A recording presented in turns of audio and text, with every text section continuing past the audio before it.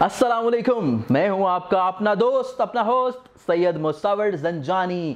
اور آپ کو جیسے کہ علم ہے کہ ہم لوگ ایک یو ٹی وی کے پلیٹ فارم کے اوپر آپ کے لیے لے کے آئے ہیں I C C two thousand nineteen cricket world cup کا ہنگامہ۔ خیز پریڈکشن سے بھرپور سیگمنٹ کا پروگرام اور جیسے کہ کل پہلے دن ہم لوگوں نے آپ لوگوں کو پریڈکشن دی تھی، تو آج جیسے کہ آپ کو علم ہے کہ دوسرا اور سیکنڈ میچ ہے۔ اور آج کا دن کرکٹ کی ورلڈ کپ کی ہسٹری میں 2019 میں پاکستانیوں کے لیے اس حوالے سے بہت زیادہ اہمیت کا حامل ہے کیونکہ پاکستان کا آج فرسٹ میچ ہوگا۔ جی ہاں بالکل۔ اور آج جیسے کہ آپ کو علم ہے کہ اکتیس مئی ہے، اکتیس مئی کے ساتھ ساتھ اس کے علاوہ جو ہے آپ رمضان المبارک جو ہے، اس کی بھی بے بہا دعائیں، وظائف اور اسپیشلی تاک راتیں جو ہیں، ان سے عبادات کا سلسلہ کر رہے ہیں اور پاکستانیوں کے لیے جو ہے آپ لوگوں کی عبادات، بالکل۔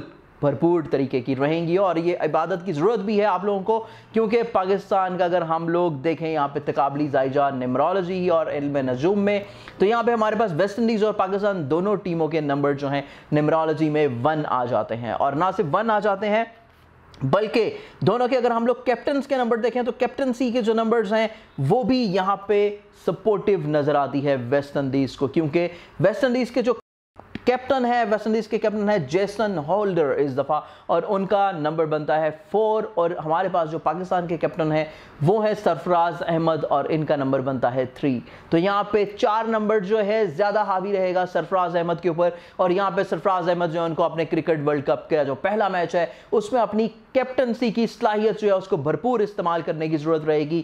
جی ہاں بالکل۔ اور یہی چیز جو ہے پاکستان کے لیے وننگ سچویشن لے کے آئے گی۔ ادروائز یہاں پہ ویسٹ انڈیز کا کیپٹنسی کا پلہ بہت زیادہ بھاری رہے گا اور یہاں پہ سیونٹی پرسنٹ چانسز جو ہیں وہ ویسٹ انڈیز کی ٹیم کو جا رہے ہیں کیونکہ میچ میں دونوں کی ٹیمز کے نمبر سیم ہونے کی وجہ سے میچ ایک اچھا کانٹے دار میچ رہے گا اور اگر ہم لوگ یہاں پہ ڈیٹ کو دیکھتے ہیں تو ڈیٹ جو ہے وہ بھی یہاں پہ ویسٹ انڈیز کا جو کیپٹن ہے، ان کے لیے زیادہ سپورٹیو رہے گی اور اس کے علاوہ جو گراؤنڈ ہے، یہاں پہ یہ گراؤنڈ ہو رہا ہے۔